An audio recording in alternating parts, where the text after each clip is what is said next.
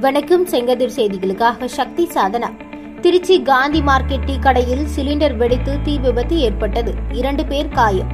Trichy Gandhi market பிரதான நுழைவு வாயில் அருகே உள்ள ஒரு டீ கடை இன்று அதிகாலை முதல் வழக்கம் போல் பலகாரம் சுடுவதற்காக கடைக்காரர் தயார் செய்து கொண்டிருந்தார். அப்போது எதிர்பாராத விதமாக திடீரென கேஸ் சிலிண்டர் வெடித்தது. இதில் கடை முழுவதும் தீ பரவி பயங்கர புகை மூட்டத்துடன் எரிய தொடங்கியது. இந்த விபத்தில் டீ கடையில் வடை சுடுபவர் ஒருவரும் டீ குடித்துக் கொண்டிருந்த மாநகராட்சி ஊழியர் அல்போன்ஸ் இருவரும் என்பவரும் காயமடைந்தனர். இருவரும் மீட்கப்பட்டு உடனடியாக அரசு மருத்துவமனையில் சேர்க்கப்பட்டனர். தகவல் அறிந்த திருச்சி கான்டோன்மெண்ட் தீயணைப்பு துறையினர் விரைந்து வந்து போராடி தீயை அணைத்தனர். தீ விபத்து குறித்து காந்தி மார்க்கெட் காவல்துறையினர் விசாரணை மேற்கொண்டுள்ளனர். மேலே உடனடியாக அப்பகுதியில் போக்குவரத்து குறிப்பிடப்பட்டது. சம்பளத்துக்கு வந்த மின்சார வாரியர் துறையினர் மின்சாரம் துண்டித்தனர்.